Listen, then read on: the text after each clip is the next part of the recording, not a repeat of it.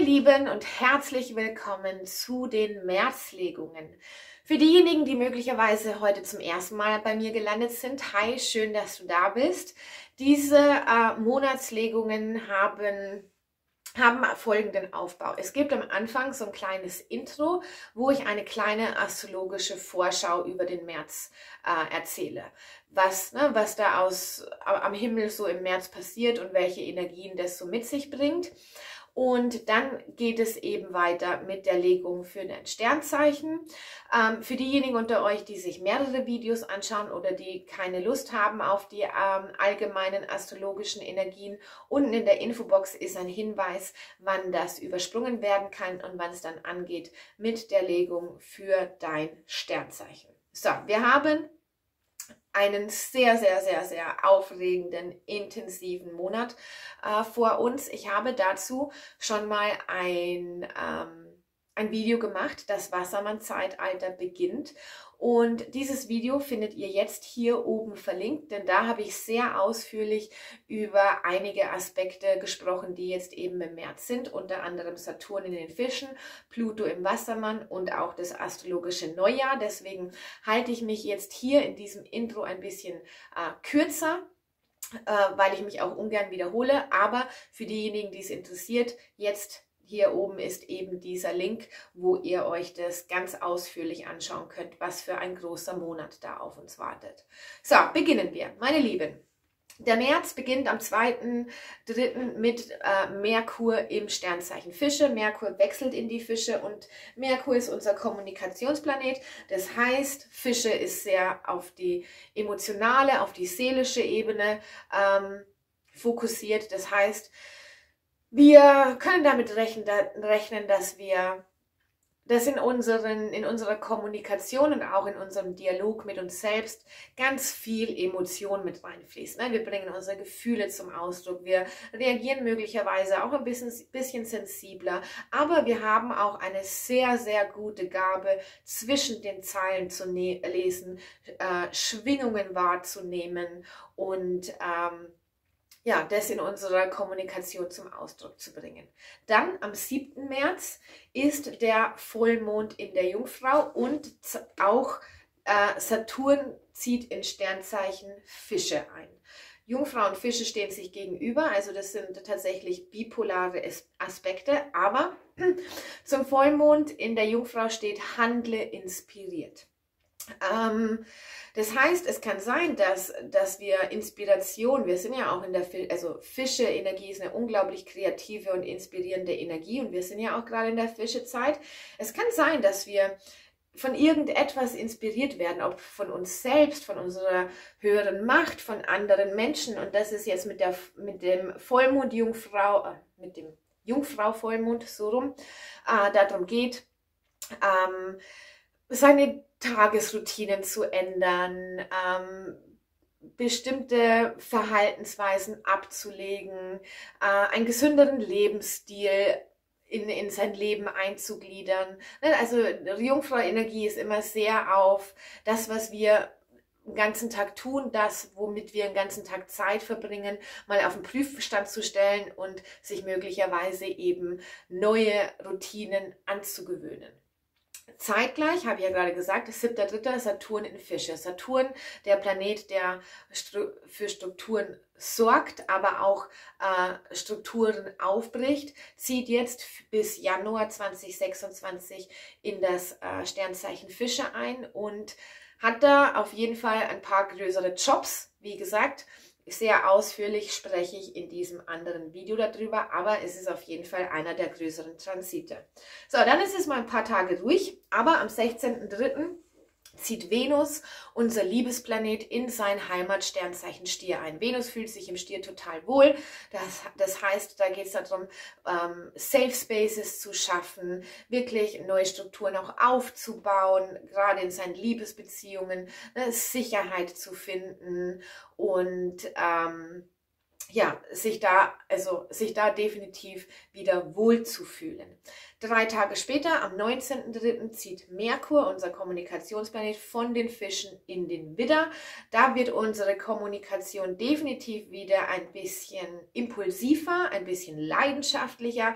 Da können wir uns sehr gut durchsetzen, da können wir sehr gut zum Ausdruck bringen, was wir wirklich sagen wollen. Da fühlen wir uns stark.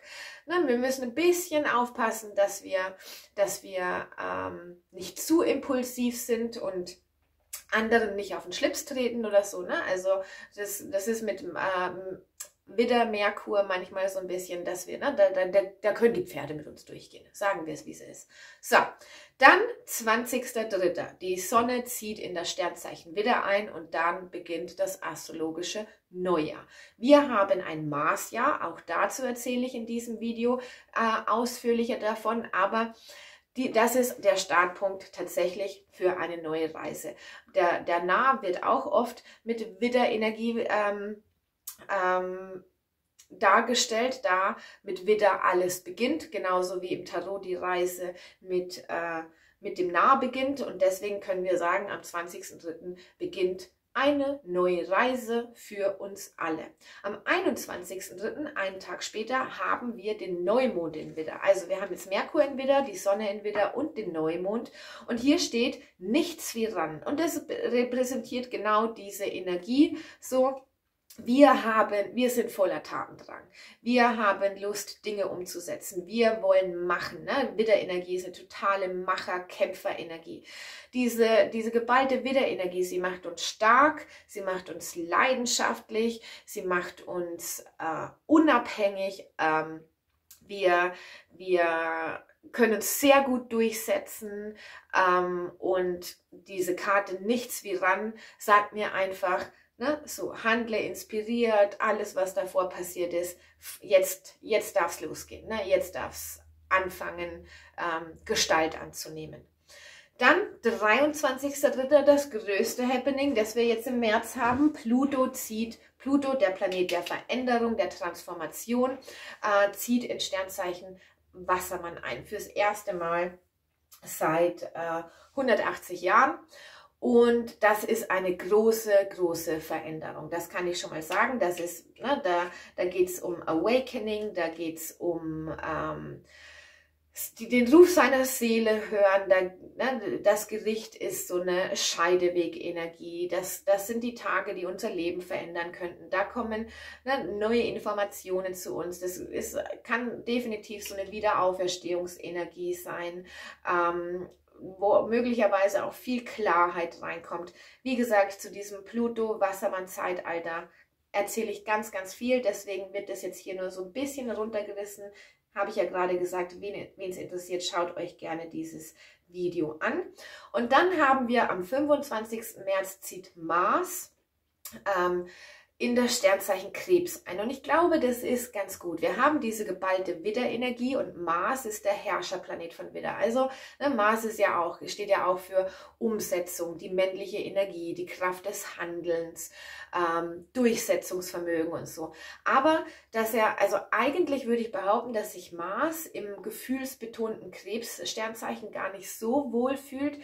Aber ich glaube, dass uns diese äh, auf der diese emotional betonte Energie mit dieser ganzen Durchsetzungsenergie ganz gut tut. Ne? So, da da geht es einfach darum, dass wir, dass wir eben nicht nur an uns denken, sondern dass wir auch an unsere Mitmenschen denken, dass, ähm, ja, dass wir nicht ganz so unüberlegt handeln. So möchte ich sagen. Ne? Dass wir, dass, ich glaube, dass dieser Maß im Krebsaspekt ist einfach ein bisschen ähm, aus, ausbalanciert. So, das war das Wort, das mir die ganze Zeit gefehlt hat. Ausbalanciert.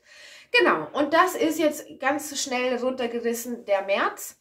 Ähm, vielen lieben Dank fürs Zuhören. Ich äh, hoffe, das war ein, ein kleiner Impuls, der euch, ähm, na, jetzt fehlen mir die Worte.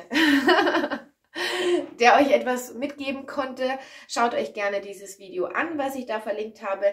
Ich lasse das hier so stehen und beginne jetzt mit den einzelnen Sternzeichen. Hallo meine lieben Krebse und herzlich willkommen zu eurer Märzlegung. Meine Lieben, ihr seht hier schon einige Karten auf dem Tisch. Das liegt daran, dass ich euer Reading gerade schon mal aufgenommen habe. Aber irgendwie, ich glaube, ich muss mir mal ein neues Handy zulegen, denn irgendwie gibt es plötzlich immer wieder äh, Videodateien, die nicht verarbeitet werden wollen. So, aus irgendeinem Grund machen wir das jetzt nochmal. Äh, weil es einfach so eine runde Botschaft ist und weil weil das, ja, weil ihr diese Botschaft hören möchtet. Wir lassen uns jetzt hier von Technik nicht abhalten, meine Lieben. okay, also, wir beginnen einfach. Ich wollte, du, und eine, eine Sache noch, du tust mir den Gefallen und ähm, spürst in dich hinein, ob das hier deine Geschichte ist, die ich erzähle oder nicht. Und wenn du direkt merkst, nee, ähm, passt gar nicht auf meine Situation, dann mach das Video bitte einfach aus, denn dann ist diese Botschaft für jemand anderen bestimmt. So, ich wollte zu diesem Saturn in Fische Transit eine Karte haben und hier fiel das magische Gebet raus. Dann wollte ich ähm, das astrologische Neujahr, ne, der, der große Startschuss hier, ähm, auf der Welle des Erfolgs. Und hier hinten Pluto in Wassermann ähm, die Errettung. Zu der, die Karte lese ich euch gleich nochmal vor. Ähm, beziehungsweise ich lese euch das gleich vor. Macht das Sinn? Lasst mich kurz überlegen, ob das Sinn macht, es euch gleich vorzulesen.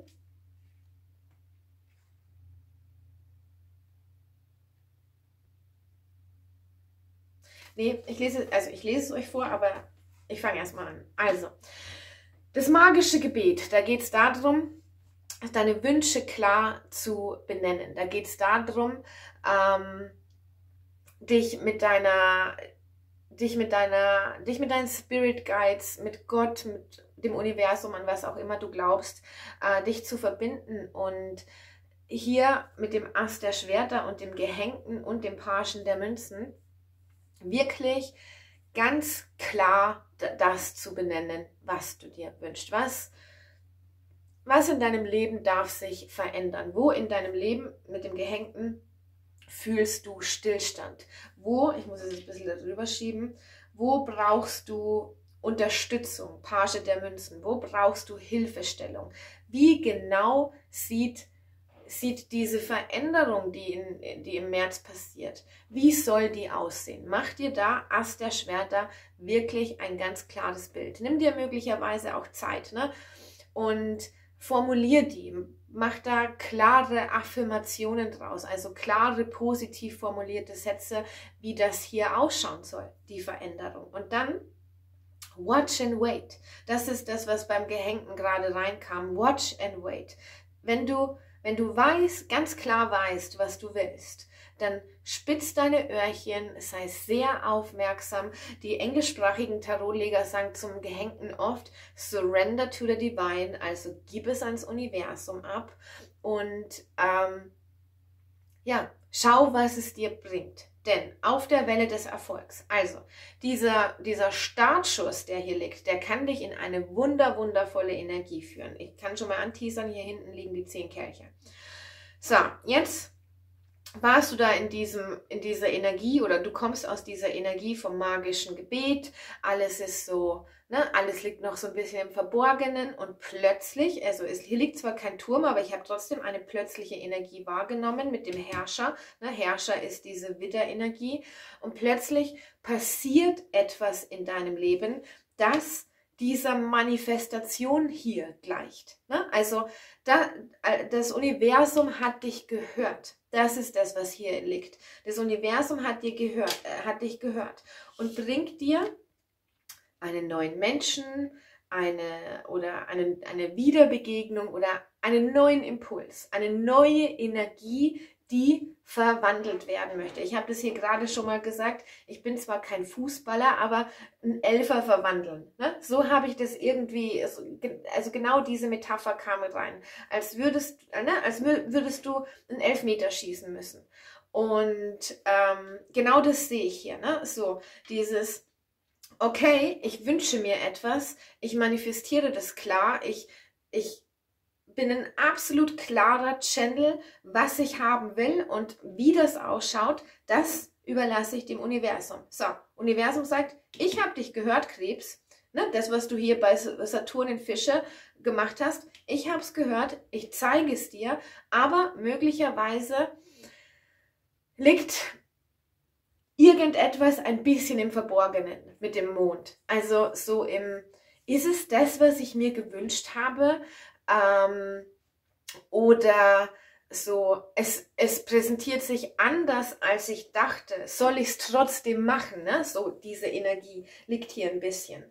Und dann hier hinten mit der Errettung, jetzt lese ich euch das vor. Äh, du bist stets in Sicherheit und Geborgenheit und darfst du selbst sein. Wer vom Erfolg verwöhnt ist, dem fällt es oft nicht leicht, um Hilfe zu bieten. Dies ist es doch, was du jetzt tun sollst, um in deinem Leben eine Erweiterung zu erfahren. Die wichtigste Form der Unterstützung, die du erwarten kannst, geht vom göttlichen Prinzip aus. Verbinde dich auf rechte Weise mit dem Göttlichen und du wirst sehen, dass viele Umstände sich wie durch Zauberhand fügen, um dir jede Hilfestellung zu bieten, der du bedarfst. Bitte, so wird dir gegeben. Es gibt keinen Grund, sich zu fürchten.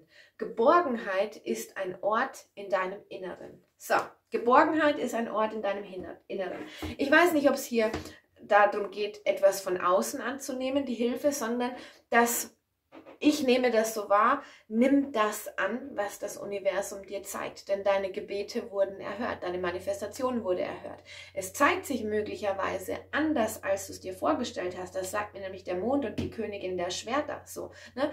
Du hattest hier Ast der Schwerter mäßig eine total möglicherweise eine total klare Vorstellung, wie das ausschauen soll, aber es gibt irgendetwas, was anders ist, irgendetwas, was was dich so ein bisschen in diese Überlegung oder möglicherweise auch ins Zweifeln, ne, Mond und die Königin der Schwerter bringt, ist es das? Und jetzt geht es zurück in dieses Vertrauen, zu sagen, ja, das ist es. Das ist mein Weg zur Fülle.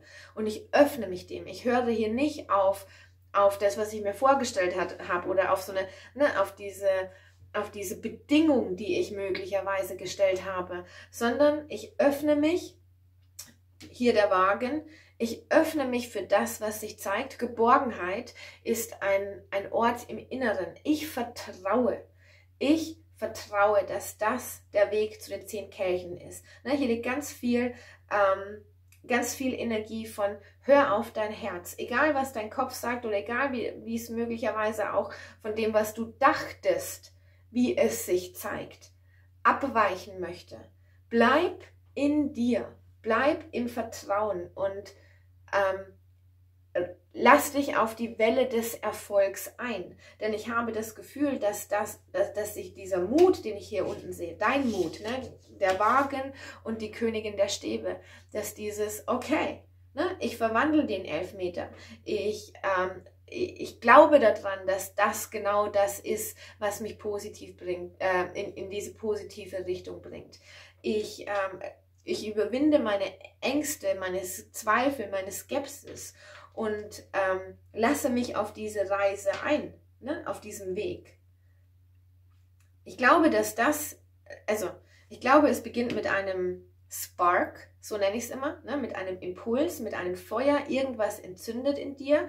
Da, dieses Entzünden löst, da, löst aus auf dein Herz zu vertrauen, der, der, deiner inneren Guidance zu folgen und ähm, diese Chance zu ergreifen, ne, diesen, diesen Elfmeter zu verwandeln, weil, ne, weil du Aussicht auf zehn Kelche hast oder weiß ich nicht. Und dann, dann fängt es an, sich zu verwurzeln. Ne? Hier, hier kommen diese Wurzeln aus dem Ast der Münzen raus. Also nimm an. Ich, ich habe auch das Gefühl, das, ist, das, ist die Hand vom Universum oder ne, möglicherweise auch das Angebot, das irgendwie im Außen erscheint, die Person, die im Außen in dein Leben tritt.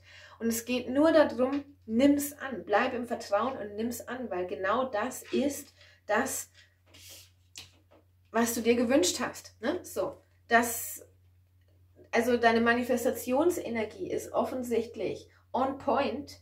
Ähm, wenn du es schaffst, in die, ich will nicht sagen, in die Umwege des Universums zu vertrauen, sondern in die Wege des Universums zu vertrauen. Also wir haben hier drei Asse hinten liegen, ne, so, und ähm, die wollen genutzt werden. Ne? So.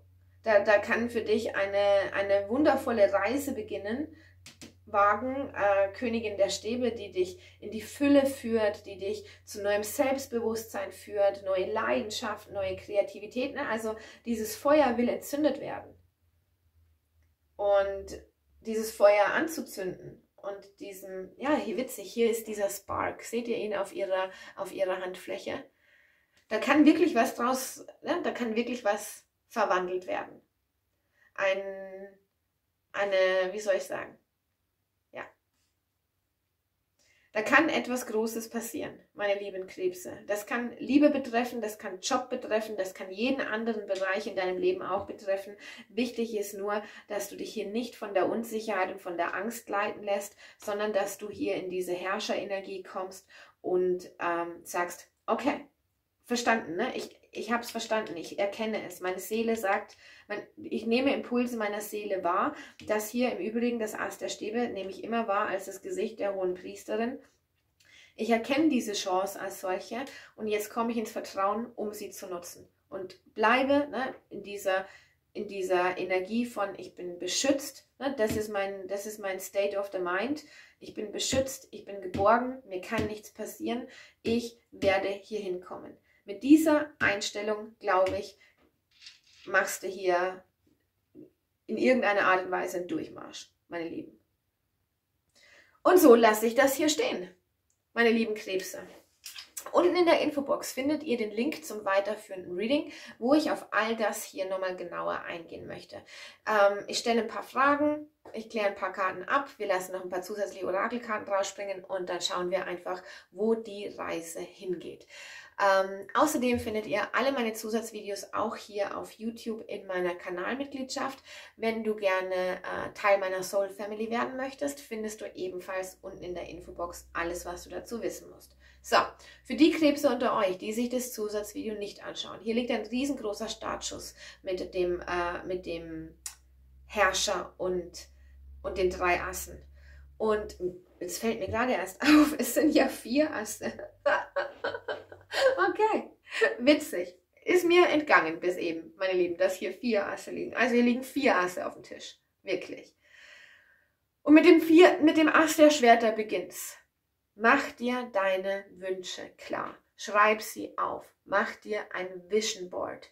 Was genau brauchst du? Welche, ne? Sende diese Gebete ab. Mach, mach sie irgendwie real. Ne? So.